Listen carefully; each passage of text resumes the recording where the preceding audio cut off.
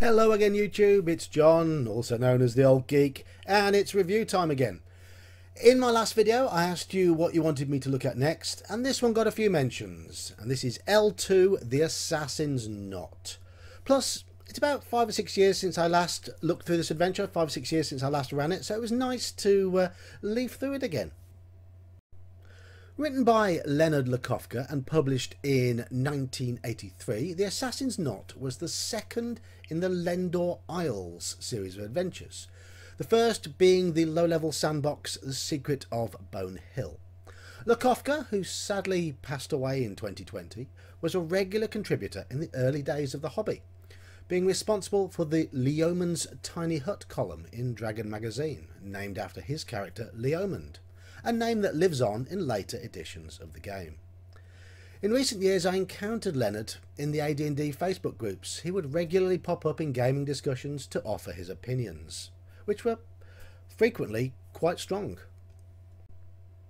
As with L1, L2 is intended for a relatively low level party. The cover suggests levels 2 to 5 and internally the text suggests about 20 levels in total. Before I get into the meat of the adventure itself, let's start with presentation as always. L2, the Assassin's Knot, suffers from being the proud bearer of one of the most abysmal pieces of cover art. Even the buxom barmaid's assets cannot rescue this drab image. I guess it's supposed to look sinister, but I think it just looks crap. Internally, the maps are very good. Outdoor maps are clear and colourful, and the maps of buildings are bold and easy to read. Internal artwork is very mixed though.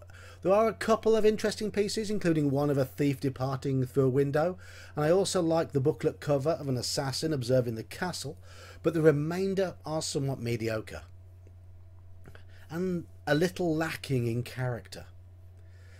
Text presentation is pretty typical of the era, although there are no box text descriptions, but that's not an issue.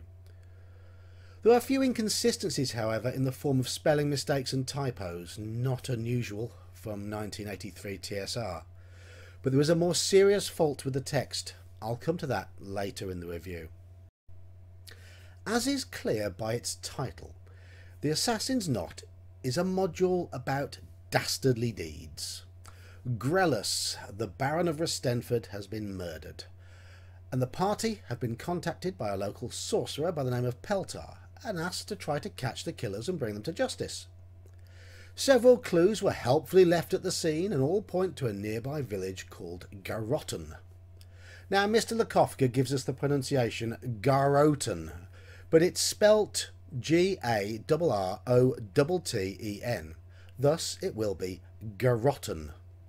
With a name like that, you can imagine what the place will be like, though. They might as well have named it Murderville.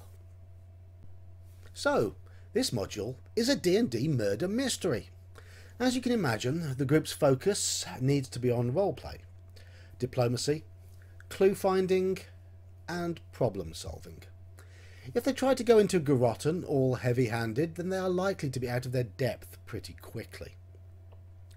The module is filled with NPCs to help bring the town to life, but details regarding personalities and motivations are somewhat scant beyond certain key individuals directly relevant to the plot. This, this uh, shouldn't cause a DM too much trouble though, as a DM for any group who would enjoy this type of adventure is likely to be not averse to improvisation. The character information where it is provided is very good, I particularly like the idea of the senile high priest, who is a well-meaning liability, and his despairing assistants who have to look after him, make excuses for him, and cover his day-to-day -day duties. Also, the little group of light-fingered stagehands at the theatre provide ample opportunity for some fun. Key to this module is the concept of time, though the players might not be aware of that, certainly not at the beginning. Lakofka suggests a series of events that can be used during play, mostly serving as delaying tactics. These are interesting and offer fertile seeds for yet more roleplay. Eventually, the clues should all fall into place, and there is then the potential for an action-packed finale against intelligent opponents. This part of the adventure requires thorough planning on the part of the players. The Assassin's Knot is not an especially easy module to run. There are a lot of moving parts, and the DM needs to be thoroughly versed in all of them at all times. With so many NPCs, many of whom have different motivations and know different snippets of information, I would strongly advise anyone wanting to run this module to make copious notes beforehand. The players should also have an organised approach and be cautious and patient, and this will not suit every group. If they charge in wanting instant gratification and glory, then they are certain to fail dismally. Now on to the problem with the text that I mentioned earlier. An aspect of the module that really does not help the DM is the fact that information is quite liberally spread out. For instance, some NPCs have certain info given with their stats, which are listed in a separate place in the module to their location, where there is more info about them. And often the DM is then referred to yet another page for follow-up information as to how that NPC connects with another NPC it would have benefited from having all of the various characters listed in one place with all key, clues and traits listed there too, along with the suggested events and the timeline. One central point of reference for the DM. Another problem for me with the adventure is that is that the solution hinges on the main bad guy using a new magic item one created specifically for this adventure. And that to me feels like a little bit of a cop out. But perhaps the biggest issue for me is the believability of the whole setup. Garrotten is a nasty, seedy place overflowing with assassins.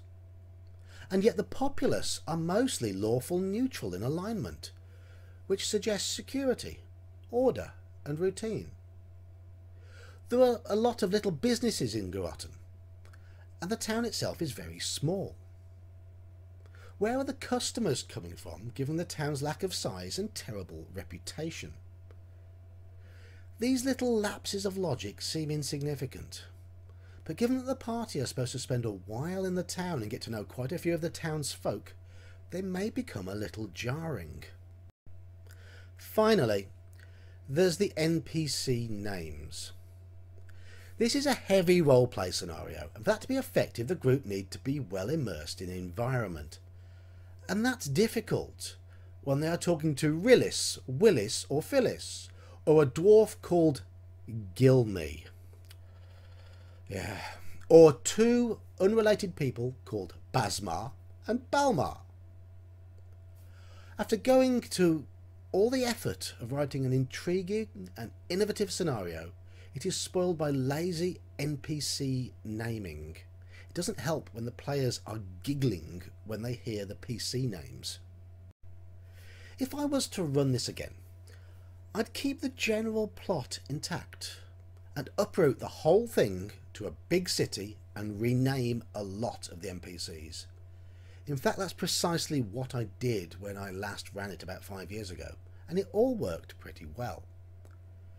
If you're going to stick to the Lendor Isles location, then I strongly recommend running it in tandem with The Secret of Bone Hill, and ensure that the party have plenty of dealings with the unfortunate Baron before he is murdered, to make sure they are nicely invested in the plot. And still change the stupid names. The DM should also be very patient, and try to portray the NPCs with a degree of reticence and suspicion force the players to make the effort to win the helpful ones over and slowly build the tension with the bad guys. Assassins are meant to be intelligent, devious, and secretive, so the DM needs to make this a priority when planning the adventure. L2, the Assassin's Knot, is an interesting scenario. It's something different. It has the potential to be very entertaining in the hands of the right DM, with a group who relish the different challenges it poses. It wasn't the first investigative module for D&D, but it was certainly the first attempt at a murder mystery, and for the most part, it works. But it does need the DM to put in quite a lot of work to fill in the gaps, to iron out the kinks, and to inject life into the reams of NPCs. It is tough to run, and it is tougher to run well. I'm going to give this module 6 out of 10. It's a brave and often intriguing effort, but it is somewhat let down by its execution. If you have a group of players who you know will react well to the style of game it demands, then it is worth the effort that is required to make it work. But if they lean towards traditional dungeoneering or combat heavy games, then best ignore it. Well, that concludes another review from me, the old geek. Click the thingies below, have your say, give me a like, whatever. Next week, I'm planning to look at WG4. But Until then, good night.